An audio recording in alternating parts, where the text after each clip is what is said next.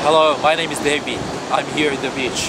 So I want to say one uh, message. John chapter 3, verse 16. The soul of the world, He gave His begotten Son, only Son Jesus Christ. Whoever believes in, in Him will not perish but have eternal life. God made this, this beautiful beach. God made everything. So whoever believes in Him will not perish but have eternal life. May God bless you to believe in Jesus who can give us salvation. God bless.